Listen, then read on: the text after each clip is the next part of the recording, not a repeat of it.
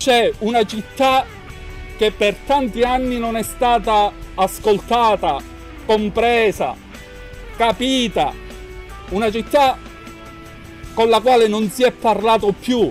Una città sopita che ha perso anche la sua identità e che ha perso la sua capacità di essere guida di un territorio provinciale in cui tutti i limiti sono evidenti, in cui l'unico momento di relazione non può essere soltanto quello dei social. E non c'è alcun contributo fattivo, alcun contributo concreto invece rispetto a una realtà che ha bisogno di ognuno di noi, così come siamo stati da sempre, con umiltà, come figli di questa terra, come figli che amano questa terra, perché il rapporto che abbiamo con questa terra è un grande rapporto di amore è un grande rapporto di amore.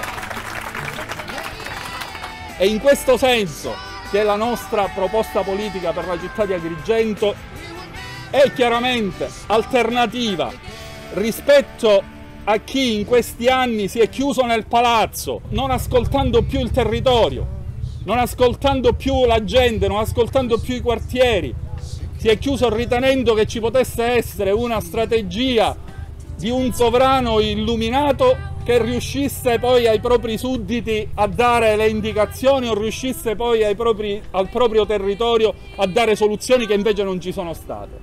La Salleone che vogliamo, vogliamo farci una bella passeggiata nella Salleone che vogliamo.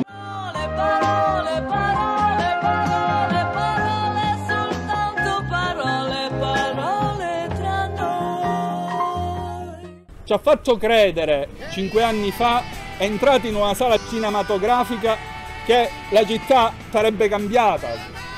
Ebbene, siamo usciti da quella sala cinematografica e abbiamo visto che la realtà è diversa rispetto al film che c'era stato promesso. E io la faccia ce l'ho sempre messa, ce l'ho sempre messa nella mia città.